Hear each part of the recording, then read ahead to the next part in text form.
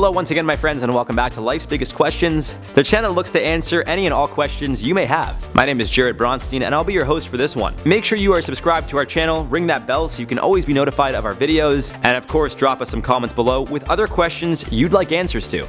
I'll be responding to some comments from a previous video at the end of this one, but for now, let's jump right in. Now it's no secret dinosaurs once ruled the earth. They were big, strong, scary, and it seemed like they were at the top of the food chain. Well, depends which ones, but it seemed like they were the ones to be feared, not fearing.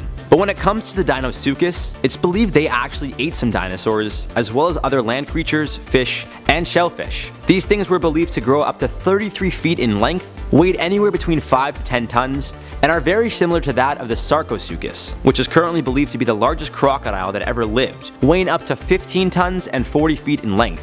So today we are asking, what if the Deinosuchus didn't go extinct? Well, for starters, I will say the world wouldn't end. I know a lot of you guys seem to think that's a common theme on this channel, and it usually is the case if catastrophic things happen to Earth, such as Earth going into the sun, another planet colliding with Earth, or if Earth lost all of its oxygen. So you could breathe easy knowing if these guys didn't go extinct, you'd probably still be okay. I mean, it really depends where you live. So let's get into that. It's commonly believed the Deinosuchus lived in rivers in North America, but not the North America we live in. Back before our time, the Western Interior Seaway, also referred to as the Cretaceous Seaway or the North American Inland Sea, was a body of water that split two islands. To give you an idea, when these things roamed the waters, the Western Interior Seaway literally split parts of what we now know as the United States and Canada in half. Part of Alberta and majority of Saskatchewan were submerged in water. Montana, Wyoming, Colorado, New Mexico, Kansas, Nebraska, and South and North Dakota were also all submerged. Majority of Texas would have been underwater as well. And that's exactly where these things lived. Now of course, these crocs wouldn't necessarily live in the middle of massive land such as Colorado or New Mexico, because there most likely aren't bodies of water big enough to handle them. So if they were to adapt, they'd most likely reside on the coast of California all the way up to British Columbia. There is the possibility some could live in larger lakes, like Salt Lake, however I'm not sure how they'd be able to cross all that land such as the deserts of Nevada.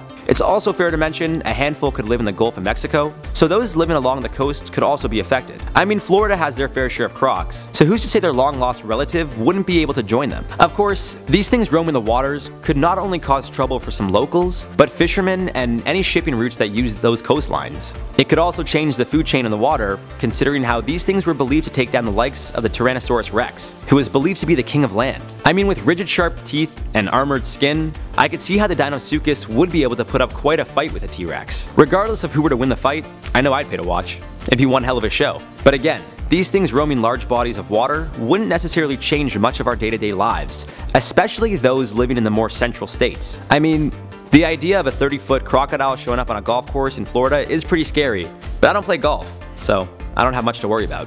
But for the sake of this video, because it is of course hypothetical, Let's also look at the possibility of these things adapting to living in smaller bodies of water compared to the oceans, such as the Mississippi River, the Missouri River, and the Colorado and Columbia rivers. Well then this could pose a threat to those living anywhere near the water, especially considering how those things would be just fine roaming the land for periods of time. It's also possible these things could adapt and live in some of the Great Lakes, such as Huron, Ontario, and Superior, which would definitely be problematic for me, who lives in Toronto, not too far from the water. If this was the case, people living in towns, cities, and states that could be affected by these things would have to relocate. I mean, if you look outside and see a 30 foot croc sitting on your lawn, I could promise there's no animal control that could help out. But eventually, the governments, more specifically the US and Canada, assuming that's where these things would live, might have to invest in containing these creatures. This, of course, would cost millions upon millions of dollars. Studying the animals, figuring out ways to capture them if they're putting people in dangerous situations, and of course, finding ways to stop them from getting in contact with our society in general. Now of course, we also have to look at it from the perspective of if they'd go extinct again. Depending where they live, food could be quite scarce for these large animals. There's only so many fish, turtles, sharks, or whatever else these things would eat that live in certain areas before their population would completely die out. In a sense, these creatures could potentially make themselves go extinct due to overeating and lack of a population for food. Again, just a hypothetical theory, but this entire video is hypothetical, so why not look at it from all angles possible? Even if these things preyed on humans by the coast, I don't think a 6 foot, 200 pound adult would be enough to feist the appetite of a 30 foot, 10,000 pound croc. maybe 10 humans, and that's why I'll never go swimming or in a boat ever again. It's some really serious, scary stuff. But come to think of it, before you guys do start to worry, and before I work myself up any more than I already have, let me reiterate the question here. What if the Deinosuchus didn't go extinct? It's been extinct for over 73 million years, and its first fossils weren't found until the 1850s. I can promise you these things are not a threat to anyone, anywhere. Crocs on the other hand, well, those are very real and dangerous, so I'd recommend steering clear. Now before we wrap up this video, let's respond to some comments from the video, what if hammerhead sharks went extinct? Banked Soil Jr. said, imagine if Thor's calls his hammer and a hammerhead shark floats to his hand. I included that comic because I thought it was very funny and just the idea of Thor holding a hammerhead shark and just hitting people with it. I think that could be a great spin-off, so I think someone needs to get in touch with Marvel and we gotta make this happen ASAP.